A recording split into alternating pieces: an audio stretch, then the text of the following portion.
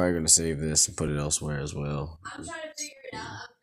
Wife's doing an interview in the other room, which is dope. Shout outs to her. But like, if you're an artist who's done music with me in the past, and you take it upon yourself to take songs down that I was part of, that I had equal part in, without consulting me, that's mad disrespectful. And if I come at you, you earn that.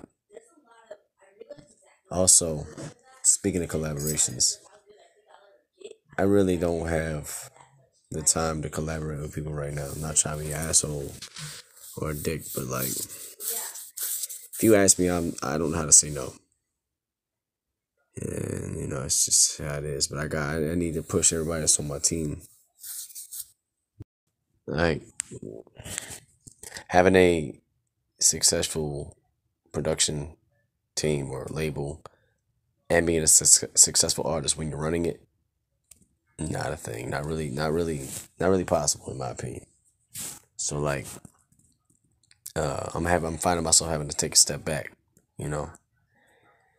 So if you want a, if you want a collaboration from me and my brother as devil's rejects cool you want a collaboration from Camo, that can be done. You want something from Serenity Gemini, that's possible. If you even want something from my wife and I as a duo, because we're a group gas, um, that's possible. But but but Gifted Thirty Nine, I may say yes in, in, in the moment, but the real the real life scenario is I need to take a step back and really focus on my team.